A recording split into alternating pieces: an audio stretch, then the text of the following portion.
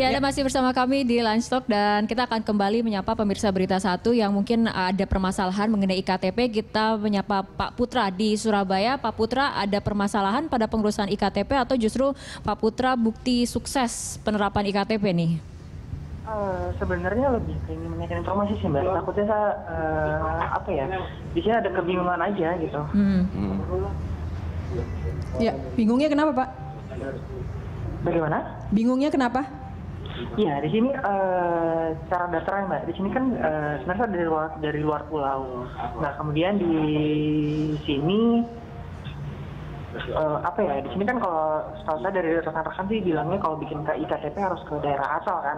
Sedangkan di sini untuk ngambil waktu pulang itu kan agak susah. Di hari kerja kan tidak bisa dapat izin. Nah di sini bisa ada bikin di luar di luar daerah saya kah atau gimana? Dan caranya sih Ya. gimana sih biar nggak bingung gitu. Soalnya selama ini informasinya rancu semua kadang kadang Baik, baik, baik. coba nanya ke kelurahan katanya nggak bisa. Ya, berhubung Anda sudah eh, mengetahui eh, kebenarannya sekarang ya, sudah bisa datang ke langsung ke kelurahan untuk eh, apa namanya memproses eh, KTP Anda, tidak perlu datang lagi ke RT, RW atau kelurahan. Ini apa namanya? Saya sebagai duta LKTP.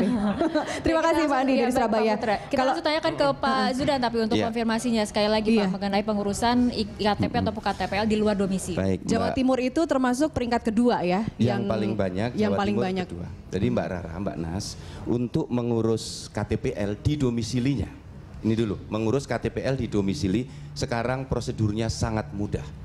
Tidak lagi perlu pengantar RT, RW, kelurahan, desa, kecamatan. Tidak perlu lagi. Cukup membawa kartu keluarga. Mengapa cukup membawa kartu keluarga? Karena database kependudukan kita sudah bagus. Cukup ketik nicknya, semua datanya akan keluar. Oleh karena itu basisnya adalah NIK dan kartu keluarga ketika orang belum mempunyai KTPL. Dan bagaimana yang harus mengurus di luar domisili? Bisa, misalnya anak kita aslinya dari Jakarta, kuliah di Surabaya. Bisa mengurus di kota Surabaya, di Dinas Dukcapil Kota Surabaya, cukup membawa kartu keluarga. Ya. Tidak perlu pulang kampung, tidak perlu menunggu lebaran, tidak perlu Ya.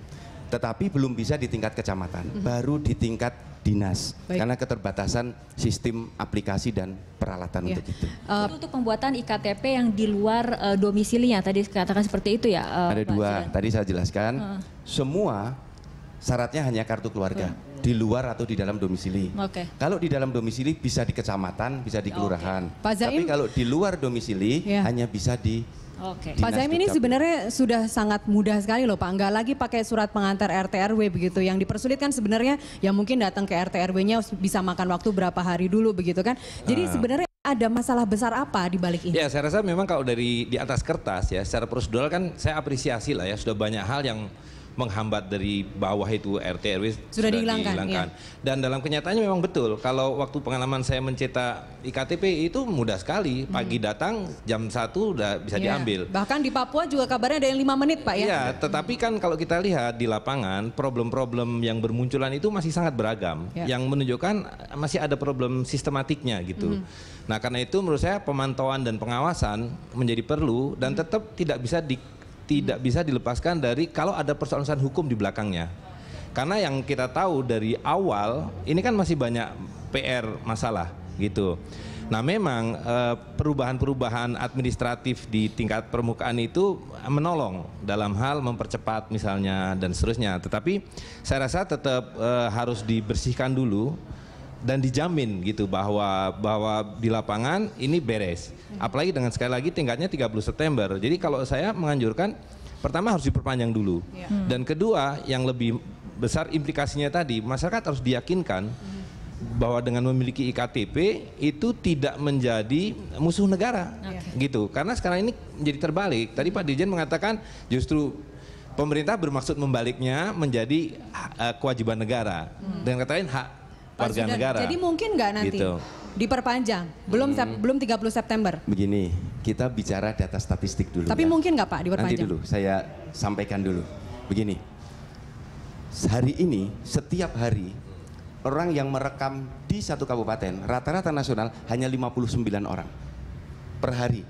Rata-rata kan tidak bisa kita sama rata Ini kita sama ratakan antara Jawa Timur, Jawa Tengah yang Ini penduduknya lebih banyak nasional daripada ya, di data nasional dulu. baik. Rata-rata per hari secara nasional hanya 30 ribu yang merekam. Ya. Kapasitas maksimal Baik. perekaman 750 ribu. Artinya masih banyak space seperti Berarti itu ya space seharusnya. kita kosong. Baik. artinya, artinya perangkat pendukung yang disiapkan negara itu siap. Baik.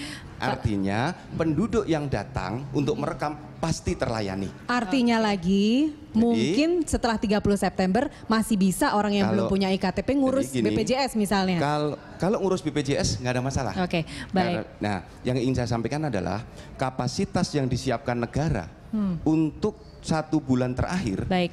ini cukup untuk merekam 22 juta. Baik, Jadi ya. penduduk monggo datang untuk dilayani karena kapasitas secara nasional itu mampu merekam 22 juta itu. Baik, Pak Zudan, Nah. Pak Zaim, kita harus tahan dulu perbincangan nih Pak, karena kita ada keterbatasan waktu, kita ikuti jeda berikut terlebih dahulu.